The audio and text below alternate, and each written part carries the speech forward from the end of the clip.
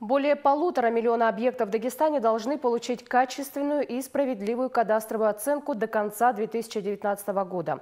Большую часть работы проведут муниципалитеты. Курсы повышения квалификации специалистов на местах прошли в Махачкале накануне. Программа завершилась пресс-конференция, на которой побывали и наши корреспонденты. Вторая часть работы в командах прошла с участием представителей Росреестра и Минэкономразвития России и местных властей. Собравшиеся обсуждали актуальные вопросы, связанные со спорными моментами, которых немало в предстоящей работе по кадастровой оценке земель сельхозназначения, объектов капитального строительства и земель населенных пунктов. Федеральным законом предусмотрены э, в том числе мероприятия по публичному размещению промежуточного отчета, в котором указываются объекты. Можно будет найти свой объект по кадастровому номеру.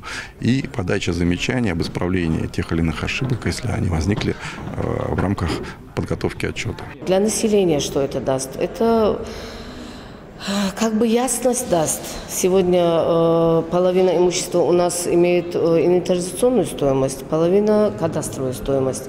А уже с 2020 года вся, все объекты недвижимости уже будут иметь свою кадастровую стоимость.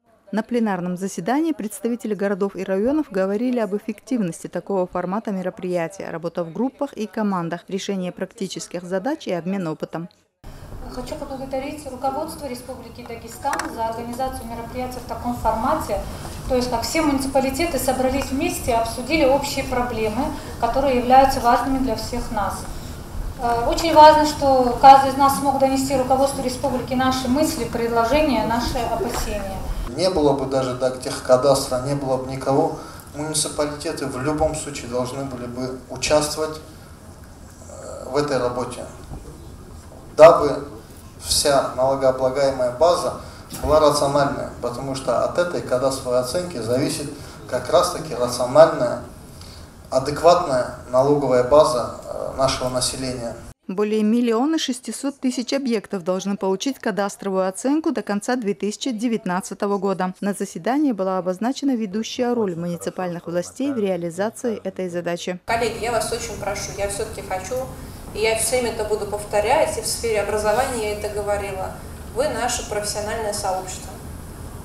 Вот мы должны с вами советоваться, а вы нам должны говорить, что получается, что не получается, что поправить но вы сможете им стать, если вы будете хорошо погружаться в, да, в глубину вопроса. В завершение программы «Встреча со СМИ». Во время беседы за чашкой чая организаторы ответили на вопросы журналистов и представителей муниципалитетов. В частности, поступил вопрос об актуальности проведения рабочих встреч на местах. Эта работа ведется уже второй год, ответил министр по имущественным и земельным отношениям. Еще в прошлом году поставили задачу, поставили, так ведь?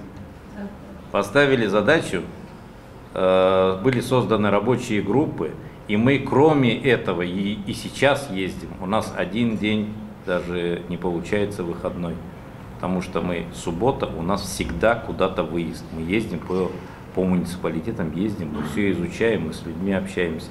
На пресс-конференции говорили о своевременности наведения порядка в этой области, о возможностях решения кадрового вопроса в кадастровой службе и о многом другом. Что касается поставленной задачи, вице-премьер в ее выполнении не сомневается. Мы сейчас а, подключили абсолютно всех помощников. Значит, а, работаем, как вы видите, а, с методологами, у нас сейчас работают ребята из Севастополя, Мурманска, сейчас подключается Омск. Они все работают со своими экспертами, со своими базами данных, которые ну, обрабатывают массивы. Нужно понимать, что такое ГКО. Да, ГКО – это метод обработки больших цифр. То есть это просто работа программного продукта с правильными настройками. Мы считаем, что да, работа выполнима, но только в том режиме, если мы будем полностью а, глубоко, как одна команда, работать с муниципалитетами. Приглашенные специалисты высоко оценили потенциал дагестанских коллег и выразили уверенность, что предстоящий объем работы республики по плечу. Все, хоть и очень усталые были, но, очевидно, были уже заряжены новыми идеями, новыми знаниями.